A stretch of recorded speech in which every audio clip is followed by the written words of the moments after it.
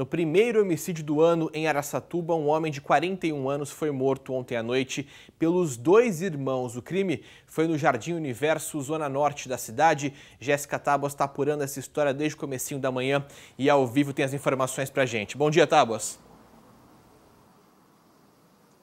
Oi, Casa Grande, bom dia para você, bom dia a todos que nos acompanham. Exatamente. Olha, um homem identificado como Vladimir Gomes, de 41 anos, morreu ontem à noite em Araçatuba depois de ser agredido a pauladas. Segundo informações da polícia, os dois irmãos da vítima, Casa Grande, são os principais suspeitos desse crime. Bom, isso porque ontem à noite a polícia recebeu um telefonema de um homem informando que né, um homem teria roubado o celular do irmão. Logo depois, depois, 20 minutos depois, a polícia recebeu um outro chamado de um homem dizendo ter encontrado o irmão caído em um matagal com várias lesões pelo corpo. Bom, diante desse acontecido, os policiais suspeitaram que essas duas ocorrências teriam algum tipo de ligação. A polícia decidiu ir então até o local da primeira chamada no bairro Jardim Universo.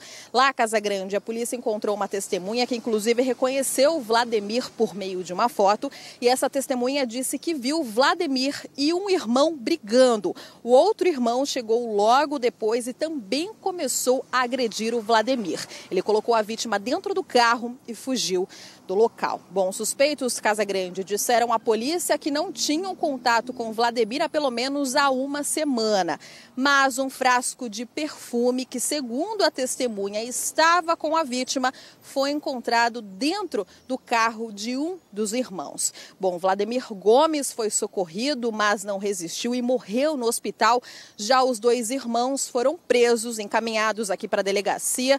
E agora a Polícia Civil segue, né, Casa Grande, investigando esse caso, esse crime em família. Eu volto com você. É, muita frieza, muita crueldade, independentemente do motivo, independentemente do histórico da família, a morte nunca se justifica. A violência nunca se justifica e, infelizmente, a gente tem visto numa sociedade cada vez mais violenta, cada vez mais fria e fazendo crimes, cometendo crimes como esse que a Jéssica Tábuas trouxe pra gente. Vamos continuar acompanhando